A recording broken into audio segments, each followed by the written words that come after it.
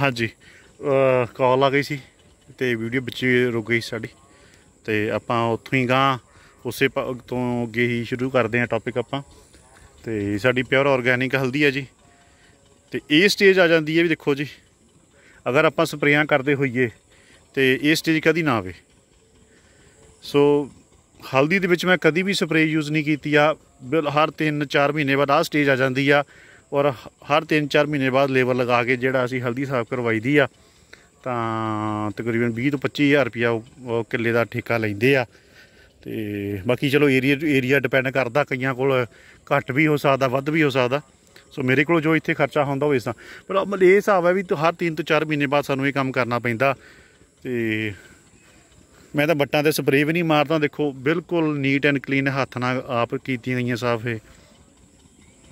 ਤੇ ਹਲਦੀ ਸਾਡੀ 100% ਪਿਓਰ ਆਰਗੈਨਿਕ ਹੁੰਦੀ ਆ। We are certified firm government of Punjab ਤਾਂ ਇਹ ਸਰਟੀਫਿਕੇਟ ਐਵੇਂ ਨਹੀਂ ਮਿਲਦਾ।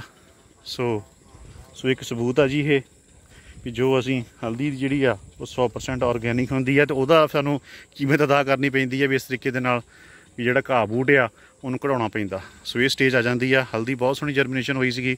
ਪਾਣੀ ਪੂਣੀ ਟਾਈਮ ਟੂ ਟਾਈਮ ਲੱਗਦਾ ਰਿਹਾ ਦੋ ਬਾਰਿਸ਼ਾਂ ਵੀ ਵਿੱਚ ਹੋਈਆਂ, ਤੇ ਉਹਦੇ ਨਾਲ ਘਾਹ ਬੂਟ ਦੀ ਸਮੱਸਿਆ ਜ਼ਿਆਦਾ ਆ ਗਈ। ਕੁਝ ਥੋੜਾ ਝੋਨੇ ਤੇ ਵਿੱਚ ਲਾਉਣ ਵਿੱਚ ਤੇ ਬਾਕੀ ਬਾਸਮਤੀ ਲਾਉਣ ਦੇ ਵਿੱਚ ਬਿਜ਼ੀ ਸੀਗੇ, ਤਾਂ ਧਿਆਨ ਨਹੀਂ ਦੇ ਹੋਇਆ। ਜਾਂ ਕਹ ਲਓ ਲੇਬਰ ਵੀ ਨਹੀਂ ਮਿਲੀ ਮੈਨੂੰ ਜਿਹੜਾ ਆਪਾਂ ਕਢਵਾ ਸਕੀਏ। ਸੋ ਫਾਈਨਲੀ ਹੁਣ ਸਾਨੂੰ ਲੇਬਰ ਮਿਲੀ ਆ, ਤਾਂ ਹੁਣ ਸ਼ੁਰੂ ਕਰਾਂਗੇ।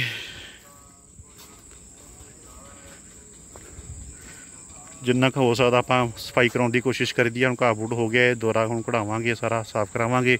ਇਹ ਕੋਠਾ ਵੀ ਹੁਣ ਡਿੱਗਣ ਵਾਲਾ ਆ ਤਾਂ ਮੈਂ ਕੋਸ਼ਿਸ਼ ਕਰਾਂਗਾ ਸਾਰਿਆਂ ਨਾਲ ਗੱਲਬਾਤ ਕਰਕੇ ਇਸ ਕੋਠੇ ਨੂੰ ਵੀ ਰਿਪੇਅਰ ਕਰਾਇਆ ਜਾਵੇ, ਕਿਉਂਕਿ ਬਰਸਾਤਾਂ ਦੇ ਟਾਈਮ ਤੇ ਜਾਂ ਤਾਂ ਗਰਮੀਆਂ ਟਾਈਮ ਹੁੰਦਾ ਸਾਨੂੰ ਬੈਠਣ ਲਈ ਥਾਂ ਚਾਹੀਦੀ ਹੁੰਦੀ ਆ। ਤਾਂ ਆਹ ਕੋਠਾ ਜਿਹੜਾ ਆ ਰਿਪੇਅਰ ਕਰਾਉਣਾ ਬਹੁਤ ਜ਼ਰੂਰੀ ਹੈ ਕਿਸੇ ਵੇਲੇ ਵੀ ਡਿੱਗ ਸਕਦਾ। ਸੋ ਅੱਗੇ ਚੱਲਦੇ ਹਾਂ ਜੀ ਆਪਾਂ, ਤੁਹਾਨੂੰ ਦਿਖਾਉਣਾ ਮੈਂ। ਇਦਾਂ ਇਸ ਤਰੀਕੇ ਨਾਲ ਜਿਹੜਾ ਘਾਹ ਬੂਟ ਆ ਜਾ ਹੋ ਜਾਂਦਾ। ਦੇਖੋ ਇਸ ਵਕਤ ਬਾਕੀ ਚਲੋ, ਕੋਈ ਗੱਲ ਨਹੀਂ ਲੇਬਰ ਲੱਗ ਕੇ ਤਾਂ ਆਪਾਂ ਸਾਫ਼ ਕਰਵਾ ਦਾਂਗੇ ਸਾਰਾ। ਤੇ ਉਹ ਪ੍ਰੋਸੈਸ ਹੁਣ ਤਾਂ ਚਲੋ ਲੇਬਰ ਜਾ ਚੁੱਕੀ ਆ। ਤੁਹਾਨੂੰ ਦਿਖਾ ਦੇਣਾ ਕਿਵੇਂ ਸਫ਼ਾਈ ਕਰਵਾ ਰਹੇ ਅਸੀਂ। ਸ਼ਾਮ ਦਾ ਟਾਈਮ ਹੋਣ ਕਰਕੇ ਥੋੜਾ ਹਨੇਰਾ ਜਿਹਾ ਹੋ ਗਿਆ ਆ। ਸ਼ਾਇਦ ਪਿਕਚਰ ਕੁਆਲਿਟੀ ਉਨੀ ਸਾਫ਼ ਨਾ ਆਵੇ। ਉਹਦੇ ਲਈ ਸੌਰੀ ਆ ਜੀ। ਕਾਫੀ ਦਿਨ ਹੋ ਗਏ ਸੀ ਬਲੌਗ ਨਹੀਂ ਸੀ ਬਣਾਇਆ। ਵੀਡੀਓ ਸ਼ੂਟ ਨਹੀਂ ਸੀ ਕੀਤੀ। ਤੇ ਮੇਰੀ ਬਾਕੀ ਸਾਰਿਆਂ ਨੂੰ ਗੁੰਜ- ਇਹ ਗੁਜ਼ਾਰਿਸ਼ ਆ ਜੀ ਕਿ ਮੇਰੇ ਚੈਨਲ ਨੂੰ ਸਬਸਕ੍ਰਾਈਬ ਜ਼ਰੂਰ ਕਰਿਆ ਕਰੋ। ਜਦੋਂ ਵੀ ਤੁਸੀਂ ਵੀਡੀਓ ਦੇਖਦੇ ਆ, ਆਪਣੇ ਕਮੈਂਟਸ ਵਰਾ ਜ਼ਰੂਰ ਦਿਆ ਕਰੋ। ਵੀਡੀਓ ਨੂੰ ਲਾਈਕ ਜ਼ਰੂਰ ਕਰਿਆ ਕਰੋ ਤੇ ਸਬਸਕ੍ਰਾਈਬ ਜ਼ਰੂਰ ਕਰਿਆ ਕਰੋ ਚੈਨਲ ਨੂੰ ਯਾਰ। ਤੇ ਵੱਧ ਤੋਂ ਵੱਧ ਸ਼ੇਅਰ ਕਰੋ ਤਾਂ ਕਿ ਹੋਰਾਂ ਤੱਕ ਵੀ ਸਾਰੀ ਇਨਫੋਰਮੇਸ਼ਨ ਪਹੁੰਚ ਸਕੇ। ਤੇ ਲਓ ਜੀ, ਆਪਾਂ ਥਾਂ ਤੇ ਪਹੁੰਚ ਚੁੱਕੇ ਹਾਂ ਜਿੱਥੇ ਅਸੀਂ ਸ਼ੁਰੂ ਕੀਤਾ ਆ, ਹਲਦੀ ਦਾ ਕੰਮ ਸਾਫ਼ ਕਰਾਉਣ ਦਾ।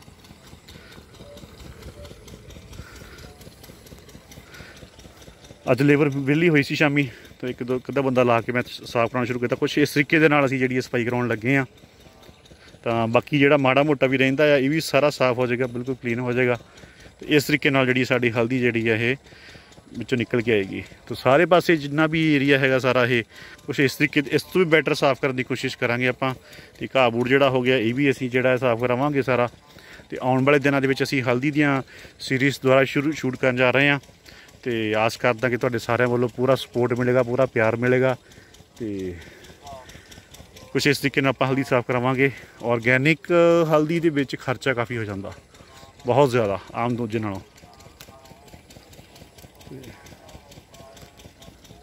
ਬਾਕੀ ਇਸ ਪਾਸੇ ਵੀ ਹਲਦੀ ਇਦਾਂ ਦੀ ਆ, ਇਹ ਵੀ ਸਾਫ਼ ਹੋਏਗੀ। ਇਧਰ ਵੀ ਜਰਮੀਨੇਸ਼ਨ ਬਹੁਤ ਸੋਹਣੀ ਵਧੀਆ ਹੋਈ ਆ।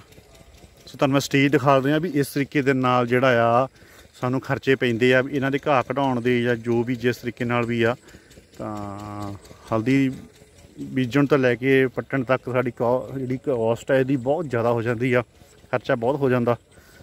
ਸੋ ਇਸ ਕਰਕੇ ਆਰਗੈਨਿਕ ਹਲਦੀ ਥੋੜੇ ਖਰਚੇ ਜ਼ਿਆਦਾ ਆ। ਨਾਰਗਨ ਨਾਨ ਆਰਗੈਨਿਕ ਤਾਂ ਮੈਨੂੰ ਪਤਾ ਨਹੀਂ ਕਿਉਂਕਿ ਮੈਂ ਉਹ ਕਰਦਾ ਨਹੀਂ।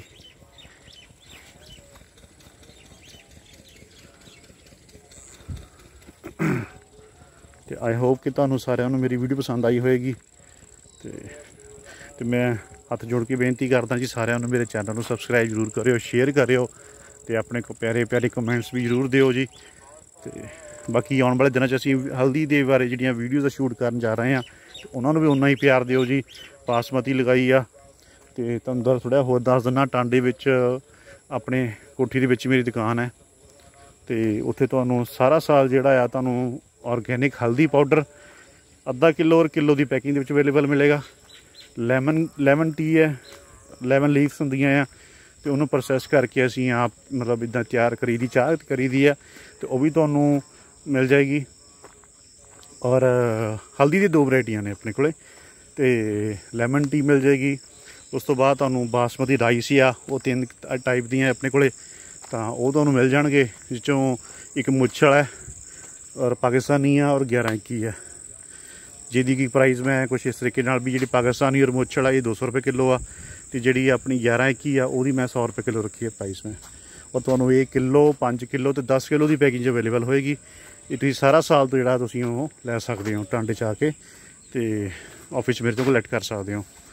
ਔਰ ਆਉਣ ਵਾਲੇ ਸਮੇਂ ਦੇ ਵਿੱਚ ਅਕਤੂਬਰ, ਨਵੰਬਰ ਦੇ ਵਿੱਚ ਅਸੀਂ ਗੁੜ ਸ਼ੱਕਰ ਕੰਮ ਵੀ ਨਾਲ ਕਰਦੇ ਆ ਤੇ ਤੁਹਾਨੂੰ 85 ਕਿਸਮ ਦੇ ਜਿਹੜਾ ਆ ਗੰਨੇ ਦੀ ਇਹਦੀ ਸ਼ੱਕਰ ਤੇ ਗੁੜ ਜਿਹੜਾ ਤੁਹਾਨੂੰ ਅਵੇਲੇਬਲ ਹੋਏਗਾ, ਤੁਸੀਂ ਉਹ ਕਿਸੇ ਵੇਲੇ ਵੀ ਕਲੈਕਟ ਕਰ ਸਕਦੇ ਹੋ। ਤੇ ਬਾਕੀ ਲਸਣ ਵੀ ਆਪਣੇ ਕੋਲ ਲਾਲ ਗੰਢੀ ਵਾਲਾ ਮੋਟਾ ਹੁੰਦਾ ਆ, ਤੇ ਉਹ ਵੀ ਤੁਸੀਂ ਜਿਹੜਾ ਮਤਲਬ ਸੀਜ਼ਨ ਦੇ ਹਿਸਾਬ ਨਾਲ ਟਾਈਮ ਦੇ ਹਿਸਾਬ ਨਾਲ ਤੁਸੀਂ ਮੇਥੋਂ ਲੈ ਸਕਦੇ ਹੋ। ਤੇ ਠੀਕ ਆ ਜੀ ਵੀਡੀਓ ਨੂੰ ਜ਼ਿਆਦਾ ਲੰਬੀ ਨਹੀਂ ਕਰਦੇ ਆਪਾਂ, ਤੇ ਆਉਣ ਵਾਲੇ ਸਮੇਂ 'ਚ ਜਿੱਦਾਂ ਜਿੱਦਾਂ ਆਪਾਂ ਕੋਈ ਕੰਮ ਕਰਾਂਗੇ ਤਾਂ ਉਹਦੀਆਂ ਵੀਡੀਓ ਸ਼ੂਟ ਕਰਕੇ ਮੈਂ ਅਪਲੋਡ ਕਰਦਾ ਰਹਾਂਗਾ। ਤੇ ਮੇਰੇ ਚੈਨਲ ਸਬਸਕ੍ਰਾਈਬ ਕਰਿਓ ਸ਼ੇਅਰ ਕਰਿਓ ਤੇ ਆਪਣਾ ਕਮੈਂਟ ਜ਼ਰੂਰ ਦਿਓ ਜੀ। ਤੇ thank you so much ji. ਮਿਲਦੇ ਹਾਂ ਨੈਕਸਟ ਵੀਡੀਓ 'ਚ। Thank you so much